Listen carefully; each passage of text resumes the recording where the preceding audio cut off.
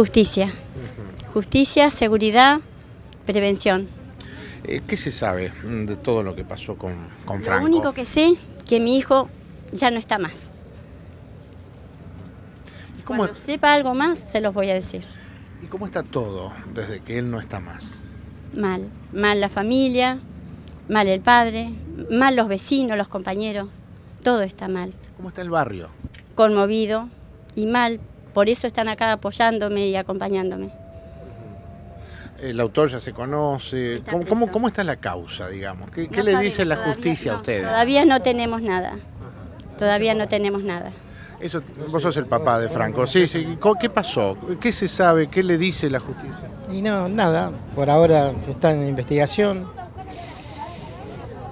Y no sé, yo lo que pido este, eh, es que sea justicia y que esos chicos lamentablemente no pueden estar sueltos porque tiran tiro como tirar un cohete. Eso y pregunto. ¿Cómo está, cuando pregunto cómo ¿Eh? está el barrio, ¿mejoró algo Y esto? ahora, ¿Cambió ahora algo? está ahí, qué sé yo, ¿viste? Hay más presencia policial.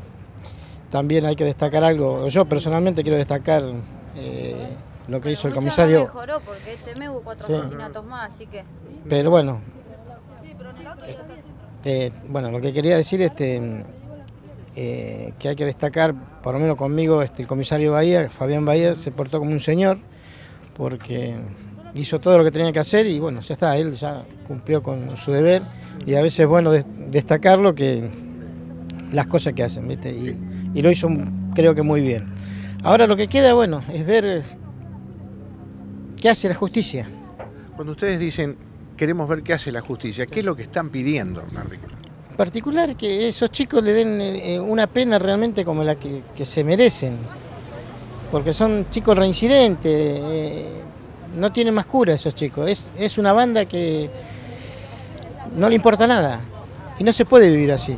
¿Ustedes van a insistir con estas manifestaciones pidiendo justicia? vamos hasta tener respuesta, que, que se haga, que, que se termine esto.